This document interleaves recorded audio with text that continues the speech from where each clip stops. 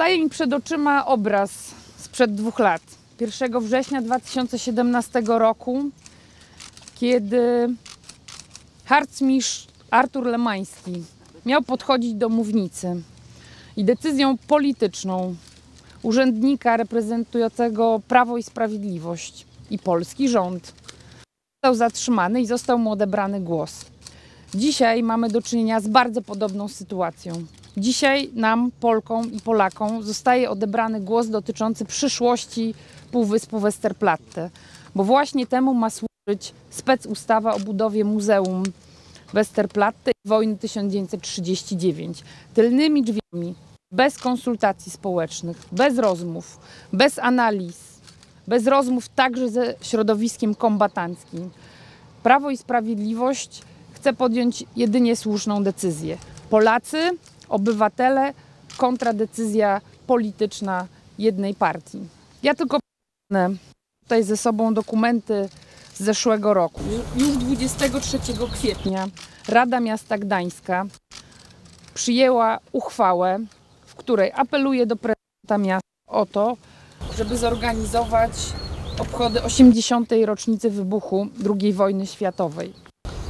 Miesiąc temu, rok, miesiąc później, w maju, prezydent Adamowicz napisał 10 maja list do prezydenta Dudy o tym, że zbliża się 80. rocznica wybuchu II wojny światowej. Pismo do pana premiera Morawieckiego i do pana marszałka Kuchcińskiego z propozycją, by rok 2019 nazwać rokiem ofiar II wojny światowej. Jedyna odpowiedź, jaka przyszła, to odpowiedź właśnie z Sejmu, mówiąca o tym, że zwyczajowo jedynie pięć tytułów może rok nosić i już niestety te tytuły zostały wyczerpane. Więc rok 80. rocznicy wybuchu II wojny światowej nie może nosić imienia ofiar II wojny światowej. Przypomnę jedynie, że od 20 lat w tym miejscu, w którym dzisiaj stoimy, harcerze Związku Harcerstwa Polskiego i miasto Gdańsk z inicjatywy prezydenta Pawła Adamowicza organizuje poranne obchody. Oprócz tego od wielu, wielu lat organizujemy różne akcje edukacyjne, popularyzatorskie, mówiące o tym, jak ważnym symbolem jest Westerplatte dla Polek i Polaków, dla Gdańska. Dzisiaj, w przededniu 80. rocznicy wybuchu II wojny światowej, usiłuje się na nowo rozpocząć dyskusję na temat tego, jak powinno wyglądać to miejsce. Tylko, że tę dyskusję my jako miasto rozpoczęliśmy już dużo wcześniej, organizując konkursy, organizując wystawę prac i koncepcji poświęconych zagospodarowaniu tego terenu. Co robi Prawo i Sprawiedliwość? Po prostu tylnymi drzwiami usiłuje wprowadzić przepisy zamieszczające i przejmujące cały ten teren. Na to zgody nie będzie. Dlatego apeluję do pana premiera Glińskiego, do ministra Selina, który jest pomorzaninem, osobą, która doskonale zna skomplikowane losy tego terenu. Apeluję o to, żeby podjąć rozmowy i dialog na temat tego, jak powinno wyglądać Westerplatte. Dziękuję. Szanowni Państwo, obserwujemy spektakl organizowany przez e, ministra Glińskiego, jak to zostało powiedziane, również posła z Pomorza, ministra, ministra Selina. Chciałoby się rzecz do mojego kolegi Jarka Selina. Jarko, co się z Tobą dzieje? Wiemy o tym, że podobne zabiegi zmierzające do zmiany kontekstu historycznego dotyczyły wcześniej Muzeum II wojny światowej, dotyczyły również e, Europejskiego Centrum Solidarności. Dziś, jak słyszymy, jest czas na Westerplatte. Dziś nie stawia się już e, funkcjonariusza przed harcerzem, zabraniając mu odczytania apelu poległych. Dziś używa się projektu specustawy, którą knebluje się zarówno gdański samorząd, jak i zdanie obywateli. Także tych, którzy są depozytariuszami historii pielęgnowanej tutaj od wielu lat na Westerplatte.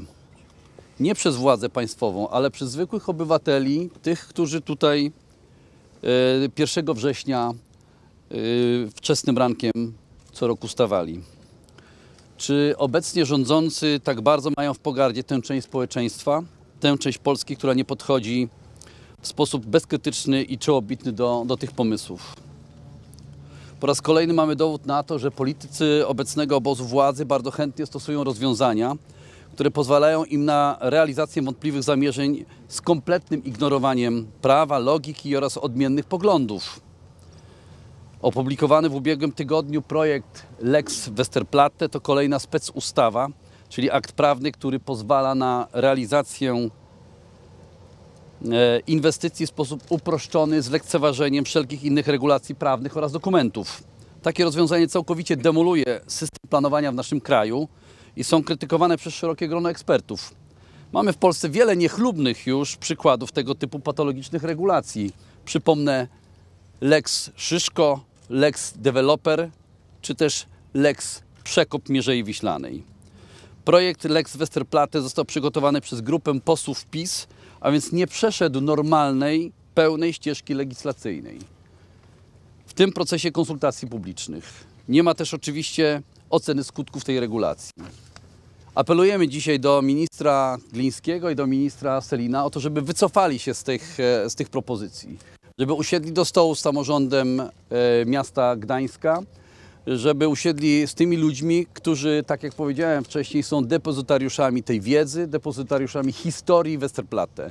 To jest nasze wspólne dziedzictwo, bardzo tragiczne, ale też y, chwalebne, wielkie dziedzictwo, które powinno być dziedzictwem wspólnym. Szanowni Państwo, we wrześniu 1939 roku Polacy, my wszyscy odebraliśmy bardzo ważną lekcję. Dziś sens tej lekcji zaczyna być umniejszany, pomijany. Dziś nawet kwestionuje się bycie, członkostwo Polski w Unii Europejskiej. Dzisiejsze rządy, dzisiejszy rząd próbuje zawłaszczyć naszą historię, umniejszyć to, co się tutaj w 1939 roku stało.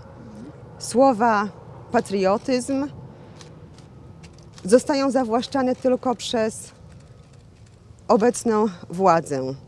Nas w Gdańsku nie traktuje się jako patriotów, a jeszcze w sierpniu ubiegłego roku mówiono o tym, że panuje tu retoryka najeźdźców. To nieprawda. To właśnie tu w Gdańsku 1 września 1999 roku Paweł Adamowicz, mój mąż, po raz pierwszy zorganizował pierwsze poranne obchody. Pamiętam bardzo dobrze tę uroczystość, skromną, przy udziale harcerzy, przy udziale wojska, ale jakże podniosłą. Pamiętam to uczucie. Przez wiele lat brałam w nich udział, później brała w nich udział zawsze nasza córka. My, Gdańszczanie, my, Pomorzanie, nie pozwolimy na to, aby jedna opcja i jedna władza, która chce stworzyć nową historię, zawłaszczyła to święto. Proszę Państwa, Westerplatte. Westerplatte to święte miejsce dla nas, dla nas kombatantów, dla wszystkich Polaków. Zapoznałem się z ustawą likwidującą to święte miejsce. Z ustawą, która mówi, że wydamy tu 115 milionów złotych na nowe budowle. Co chcemy zrobić? Kioski na piwo? Czy może inne budowle rozrywki? Bo konserwacja Westerplatte to tylko poprawa tego, co zostało. Nie wolno tu budować nic więcej. Zresztą uważamy my, kombatanci, że trzeba powołać komisję strukturalną z Uniwersytetu, z Wydziału Historii, która powie, co można zrobić na Westerplatte.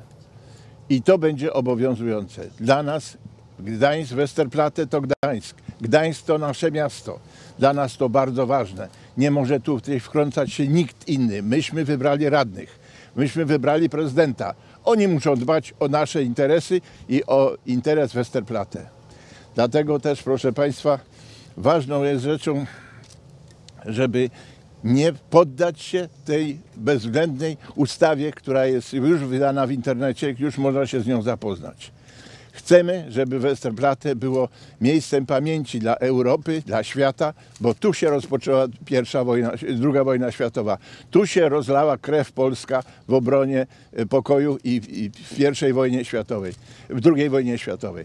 Musimy o tym pamiętać i musimy to zostawić przyszłym pokoleniom, a nie domy rozrywki na Westerplatte. I bardzo o to proszę, żebyśmy jeszcze raz przemyśleli sprawę y, zagospodarowania Westerplatte pod, y, że tak powiem, auspicjami profesorów historii i profesorów y, tradycji polskiej i tradycji gdańskiej. Dziękuję Państwu.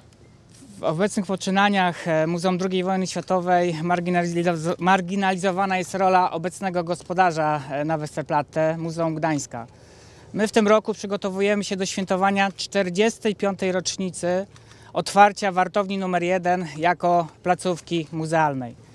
To wydarzenie jest planowane na 29 czerwca. I w chwili obecnej, po zapoznaniu się z ustawą, zastanawiam się, czy mamy te uroczystości organizować. Ponieważ e, z ustawy wynika, że wartownia zostaje przekazana za odszkodowaniem nowemu inwestorowi. Zastanawiam się, kto wyceni koszt wartowni numer 1, e, głównego punktu oporu polskich żołnierzy w trakcie obrony e, t- składnicy na Westerplatte. Jaka będzie kwota tego odszkodowania? Pytanie, czy muzeum ma przyjąć tą kwotę i na co przeznaczyć ewentualne środki, jakie zostaną e, przekazane muzeum. Mamy do czynienia z sytuacją bezprecedensową w polskim muzealnictwie po 1945 roku. Jednocześnie e, w tle niejako poza zainteresowaniami mediów trwa proces, proces zaprojektowania nowego muzeum e, plenerowego na Westerplatte. Ten proces rozpoczął się pod koniec 2017 roku, kiedy to miejscowy plan zagospodarowania przestrzennego stracił swoją, e, przestał być aktualny. Z tego względu zostały podjęte działania, aby wypracować nowe, e, nowe rozwiązania na Westerplatte. Rok temu w lipcu e, w dworze Artusa miało miejsce spotkanie, w którym uczestniczyli przedstawiciele różnych środowisk, architekci, konserwatorzy, historycy, historycy sztuki, gdańszczanie, e, różni specjaliści zaproszeni z całego kraju. W trakcie tego spotkania zaprezentowano trzy projekty zagospodarowania zlecone trzem różnym e, pracowniom architektonicznym. Te projekty mają służyć do przygotowania ewentualnego do przygotowania konkursu architektonicznego i dalszego realizacji, dalszej realizacji procesu zmian na Westerplatte. Wszyscy uczestnicy spotkania zgodzili się z główną tezą, tezą, że należy zachować autentyczność tego miejsca, a to, co jest teraz konieczne, to trzeba e, e, unaocznić, uwypuklić, lepiej e, pokazać autentyczne pozostałości, które przetrwały e, do, do dnia dzisiejszego z września 1939 roku. Ponieważ Westerplatte zostało bardzo znacznie przekształcone, a nastąpiło to w latach 60. ubiegłego wieku, kiedy to rozbudowywał się po- port gdański. I w chwili obecnej nie ma możliwości rekonstrukcji składnicy w, wyglądzie e, takim, jak ona wyglądała we wrześniu 1939 roku, bez zniszczenia autentycznych jeszcze ostatnich pozostałości reliktów e, e, składnicy. To spotkanie stanowiło oczywiście też kolejny etap w realizacji procesu zmian na Westerplatte. E, Wnioski z tego spotkania zostały przekazane do nowego e, projektu planu zagospodarowania przestrzennego. W ostatnich miesiącach odbyło się szereg spotkań, aby ten proces wdrożyć. Tak więc e, nie ma konieczności, aby powoływać czy podpisywać specustawę dotyczącą Westerplatte, ponieważ proces zmian trwa. Trwa zgodnie z e, obecnymi regulacjami, jakie mamy, e, jakie e, obowiązują w Gdańsku i w naszym kraju. Jednocześnie Muzeum Gdańska realizuje tutaj szereg działań o charakterze edukacyjnym, o charakterze wystawienniczym, o charakterze artystycznym. Planowaliśmy również zorganizowanie tych wydarzeń w tym roku. Miały to być specjalna ścieżka edukacyjna za- zatytułowana Szlak Pamięci. Miały to być festiwale e, e, rekonstruktorów, Miało to być specjalny e, festiwal artystyczny zatytułowany Światło Cień, jaki chcieliśmy zrealizować 7 września 2019 roku. Teraz wszystko to staje pod znakiem zapytania i tak do końca nie wiemy, wie- jak mamy postępować, jak mamy realizować tutaj nasze działania. Dziękuję bardzo.